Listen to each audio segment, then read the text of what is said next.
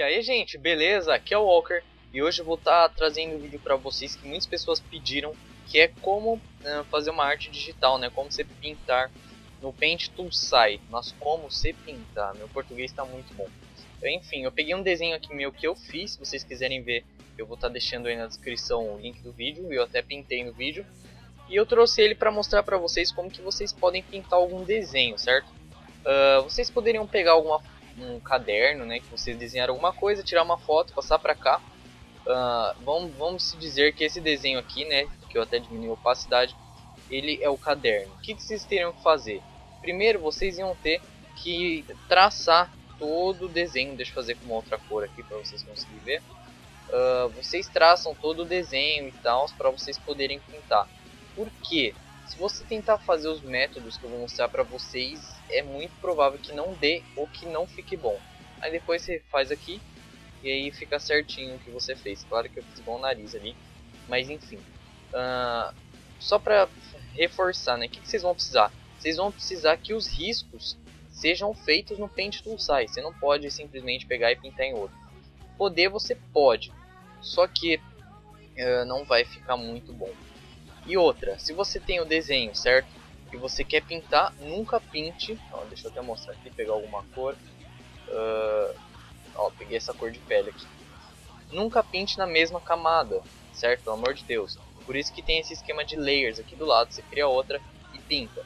Ela tá tudo por cima, porque é em ordem. Se você colocar por baixo, ela vai ficar por baixo. Ah, Walker, só que assim, eu tirei uma foto e eu tô tentando pôr essa coisa por baixo e não tá indo. Por quê? Porque, já que eu fiz no Paint Tool Sai, uh, isso aqui tá tudo transparente. Todas essas partes estão transparentes. Só a parte preta que é preta, obviamente. Então, vocês vêm aqui em opções da imagem, certo? Opções da imagem não. Você clica na layer onde está o seu desenho, certo? Você vem aqui em modo do lado e vai ter as coisas. Você vem e coloca no segundo, multiplicação que aí pode ser qualquer folha, né, coisa branca que tem, ele vai sumir, você vai poder pintar normalmente. Então é isso para folha de caderno, algum desenho que tem um fundo branco na internet, você vem aqui na camada e coloca multiplicação que na layer de baixo você vai conseguir pintar normalmente, certo? Uh, mas beleza, eu não vou pôr multiplicação porque eu não preciso aqui porque já está tudo transparente. Uh, então vamos lá, eu coloquei uma layer aqui embaixo, certo, para começar a pintura. E o que, que eu posso fazer? Tem vários jeitos de você pintar, né? Você pode vir com um balde de tinta.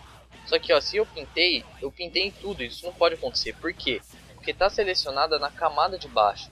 E se eu pintar na camada de cima, tá certo. Só que lembra que eu falei que nunca pode pintar na mesma camada dos traços? Então, Walker, o que, que eu faço? Ou você vem na camada de baixo e sai riscando igual doido assim. Você tenta riscar e não errar, certo? Que é bem difícil, é bem demorado. Antes eu fazia isso Uh, só que depois eu percebi que não, que não era não é muito viável fazer isso. Ó, aí você errou, você tem que vir com a borracha, você vai ter que vir apagar. Isso não é uma coisa muito legal de fazer. Então você clica no desenho, certo? Você clica aqui ó, na varinha mágica, ou Magic Wand. Aí você vai selecionar, você vai clicar onde você quer pintar. Exemplo, eu cliquei no braço, ele ficou esse azul meio estranho. Beleza, já está selecionado o que eu quero pintar. Calma que ele não pintou de azul.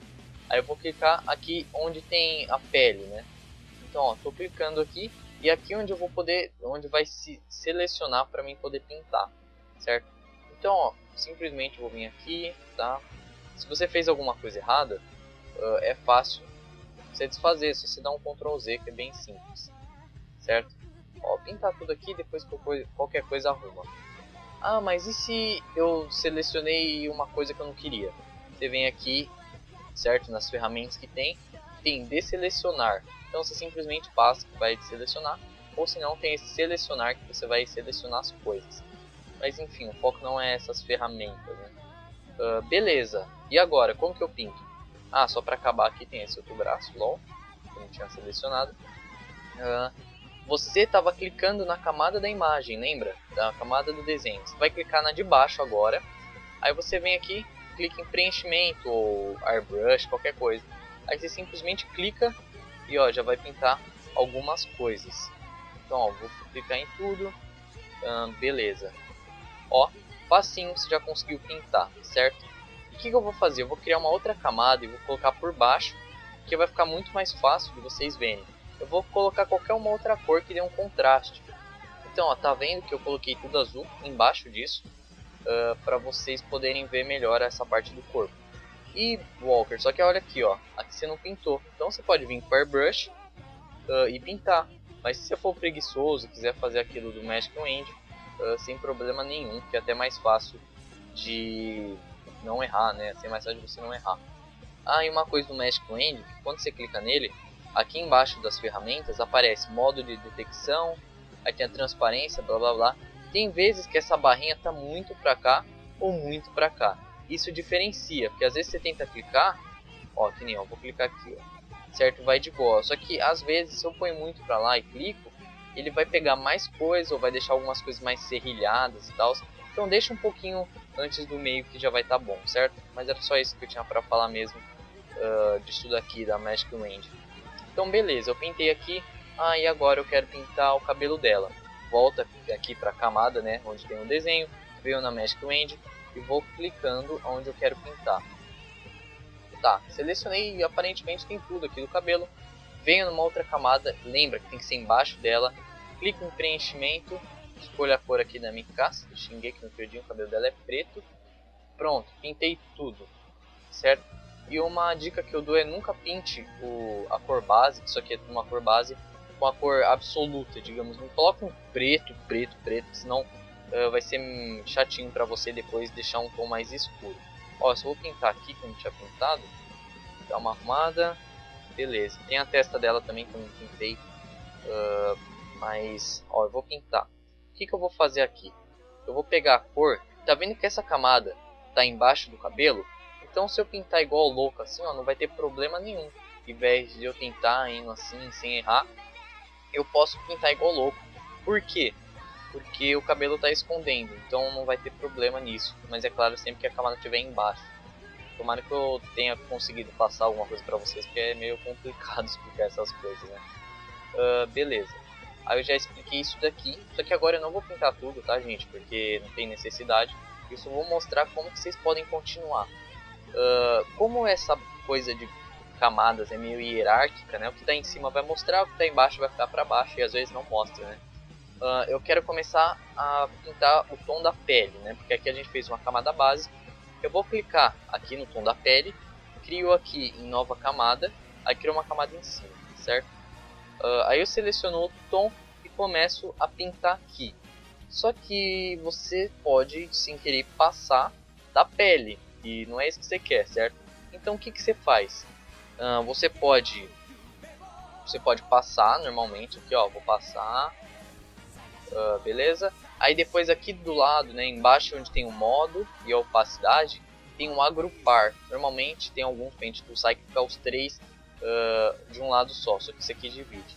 Você clicou em agrupar, tudo que está na camada de baixo, né, ele vai ser meio que uma máscara. Então, eu não sei se eu vou conseguir dizer direito, mas é isso.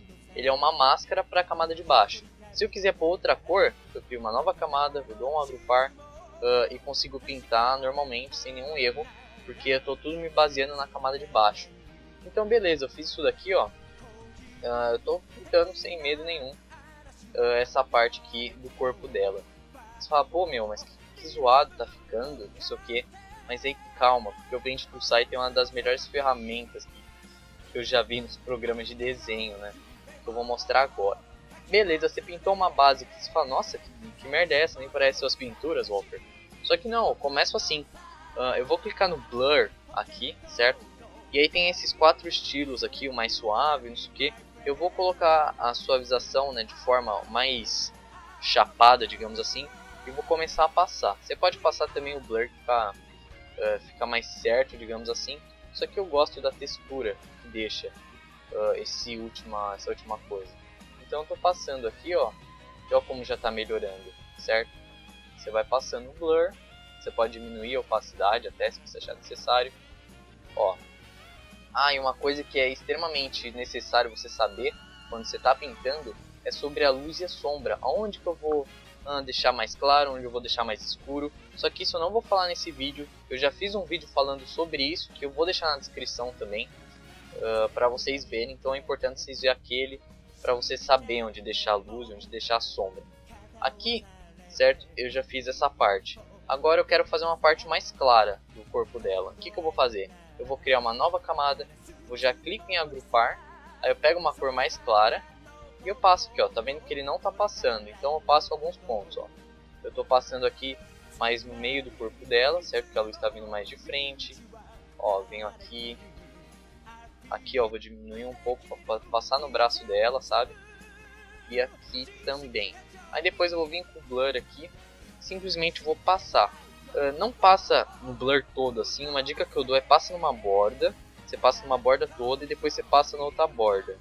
Aí você diminui a opacidade e passa nele todo, porque aí não vai ter problema uh, de, o, de uma coisa que você fez sumir, né? Porque vai que você passa muito blur e ela some. Uh, então você vai passando blur assim, até você ver que ficou do jeito que você queria. Ó, que nem eu tô passando aqui, aqui também, nas pernas. Uh, e ficou desse jeito, certo? Uma outra coisa também que eu vou falar sobre a pintura é que você pode ter alguns modos né, que você pode fazer aqui sobre essas coisas. Tem ó, multiplicação que a gente já usou, né, que se precisar de um caderno e tal. Tem o clarear, sobrepor, luminosidade, sombra, luz e sombra e P e B. Uh, eu vou colocar o luminosidade aqui porque ele tem uma propriedade muito diferente, né? Que o que, que é? Vou fazer aqui, ó, simplesmente uh, eu risquei em branco, certo? Ah, Walker, legal. Vou escolher outra cor. Tá saindo branco também. Por quê? Porque tá na luminosidade. Se você vir com blur e passar no branco, ela vai se espalhar de um jeito que o outro não se espalha. E ó, se eu vir aqui também, uh, você pode ver que a cor muda um pouco. Não muda muito, mas muda um pouco.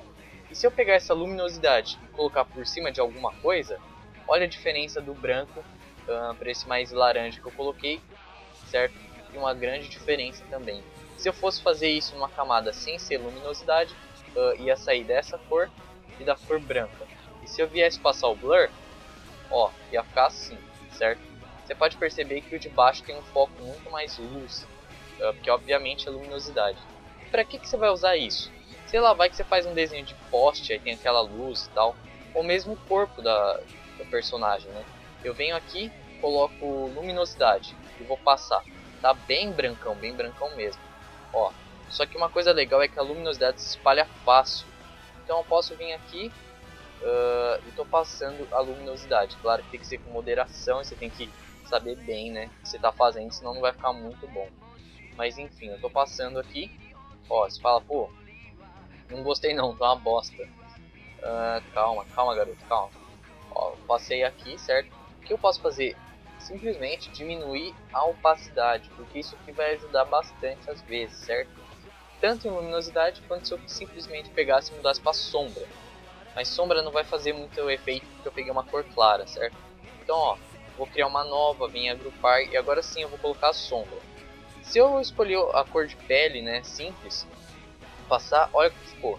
Ficou essa cor estranha, né? Essa cor parece uns remédios que passam em ponto de grávida, sei lá, não sei o nome daquilo. Mas enfim, ó, e se eu passar o blur, olha como fica. Já dá, uh, não fica tão bom assim, por quê? Porque a gente já tem que mexer com a opacidade, né? A opacidade também é praticamente muito foda. Então, ó, se eu diminuir tudo, ó como fica.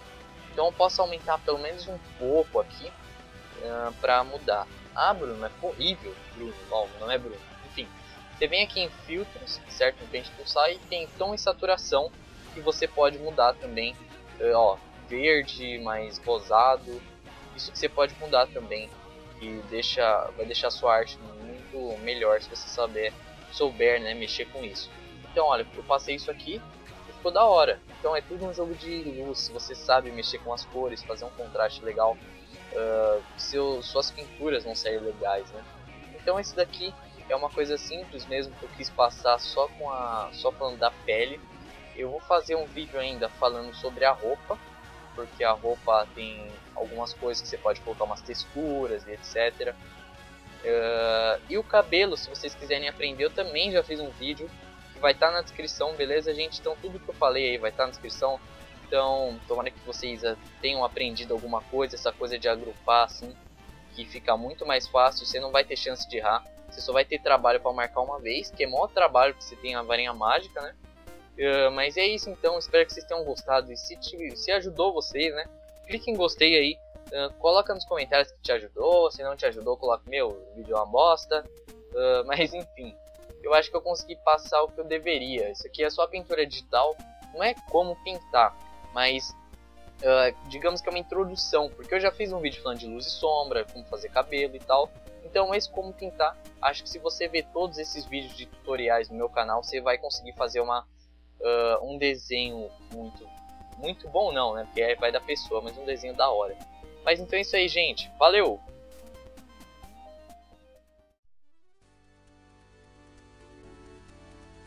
Gente, antes de acabar aqui, dê, uma passada na minha página do Facebook, The Walker Desenhos, o link vai estar na descrição. Eu sempre estou postando as coisas do sorteio, ou coisas antes, igual uh, esse Asa Noturna que eu fiz. Eu já postei na página um dia, uh, vai pro YouTube, né? Mas aqui eu sempre posto algumas coisas antes. Uh, eu tenho uma outra página que me ajuda pra caramba também, o Tags and Gamers, tem muitos curtir.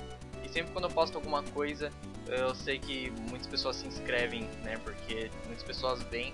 Então vale a pena você passar lá. Tem algumas coisas engraçadas também, sempre com foco anime. e é da hora, tá? Então passa lá. Uh, e agora falar um pouco rapidamente de umas lojas aqui, que é a Otaku Store, olha só, que ela é uma loja onde vende DVDs online, uh, é uma loja online, né, que vende DVDs.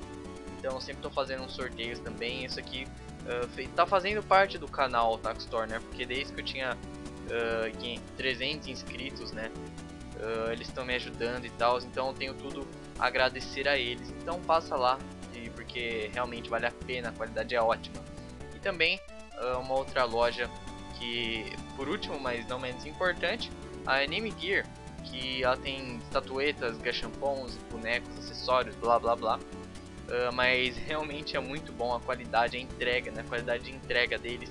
Os produtos são ótimos também. Uh, muitas coisas são baratas, claro que tem algumas coisas mais caras, mas são mais detalhadas e tal. Só que também tem coisas muito boas e muito baratas também, que vale a pena você dar uma olhada e comprar. Então, gente, se vocês gostaram, já clique em gostei, uh, comenta por favor que deu um trabalhinho para fazer tudo isso. Se inscreva no meu canal se você não for inscrito, beleza? E antes de acabar também, só deixa eu falar aqui dos meus parceiros do YouTube. É que assim, eu tenho vários parceiros, só que eu escolhi alguns vão me divulgar uh, pra mim falar deles, né? Porque acho que eu tenho vários que vai estar tá na box do canal, assim. Você entra no meu canal, do lado vai ter na parte de parceiros. Só que no final dos vídeos eu vou falar de alguns que vão divulgar nos vídeos, que eu acho isso mais justo. E tem o Palavra Nerd, que ele desenha muito, muito, muito, tenho muita inveja dele, porque... É, não, tá, não tem inveja, mas é que ele desenha muito. Sério, dê uma passada lá. Ele não só faz uh, coisas digitais assim, mas ele também estatuetas, tá ligado? Ele pega, tipo, massinha. Massinha é fogo, né? Ninguém fala massinha. Uh, mas pega biscuit, essas coisas e consegue fazer umas coisas tipo, surreal, assim, que você fala, nossa, ele é brasileiro mesmo? Uh, mas enfim, dê uma passada lá e se inscrevam, que vocês vão curtir. Outro também é o Drake, o Drake é um amigo meu já há um bom tempo e ele tá aprendendo agora esse esquema aí da mesa digitalizadora que ele comprou uma agora. E vale a pena vocês verem que ele faz. Uh, o canal dele tem algumas aulas de RPG Maker para quem quiser fazer um, um jogo né? Só que também tem algumas coisas de pintura digital que eu acho super fantástico uh, que tem no canal dele também. Então passem lá e se inscrevam, beleza? Uh, e também tem o Frost Players que é um. Eita, não, deu branco.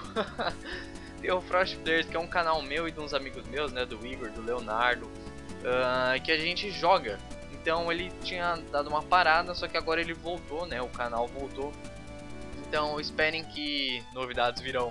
Então clica nele também e se inscreva, beleza gente? Foi isso aí, valeu! Clicou em gostei já? Se não clicou, por favor, clica em gostei, tá? Não é só clicar. Você põe o mouse ali em curtir, né, não gostei, e aperta. Porque vai com força. então é isso aí, gente. Valeu! Fui!